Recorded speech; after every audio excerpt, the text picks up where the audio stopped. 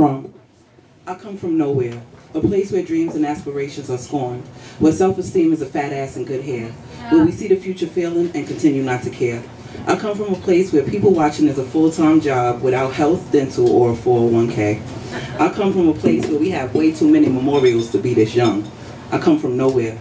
I come from a place where if you're trying to get out, then you think you're all that. But if you fall into the trap, it'll chew you up and spit out the fat. I come from a place if the me that you knew and the me that I am are inconsistent, then I'm acting brand new.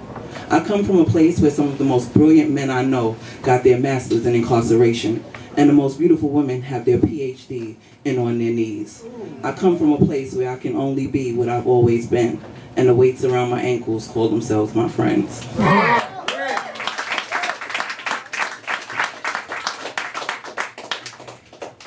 This is interrupted.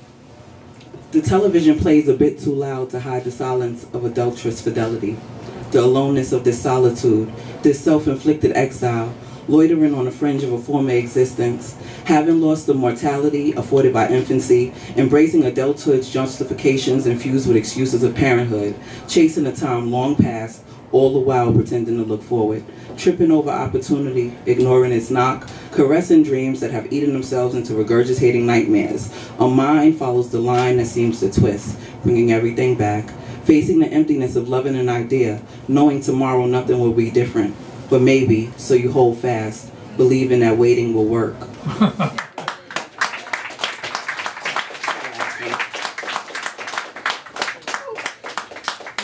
Is, um, one more time. I need you to remember why you love me, why you hitched your wagon to this dark horse to start. I didn't come with a rose-colored filter or flowery promises of life without pain. I came with change, discomfort, and freedom and smothering.